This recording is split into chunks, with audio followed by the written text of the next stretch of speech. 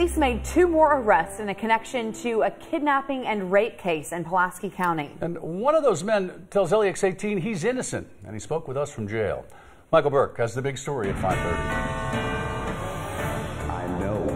I know I have been wrongfully charged because I know what's happening. From inside the Pulaski County Detention Center, Kevin Pruitt maintains his innocence, claims he and Ken Richardson weren't even at the home on Kentucky 461 when Daniel York was arrested in June on kidnapping and rape charges. The home is owned by Pruitt's mother, who died recently. Kevin has been living there for several months. Well, I wasn't there. We're out of town working.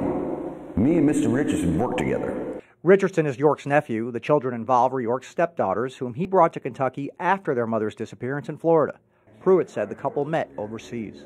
As soon as they got married, got the green card, got to Florida, gone. At the Pruitt home today, a friend who did not want to be identified said Kevin has had his issues over the years, but nothing like this.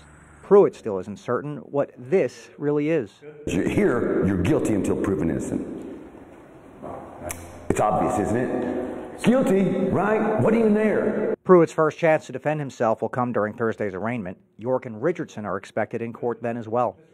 Covering the news in Pulaski County, Michael Burke, LEX 18 News.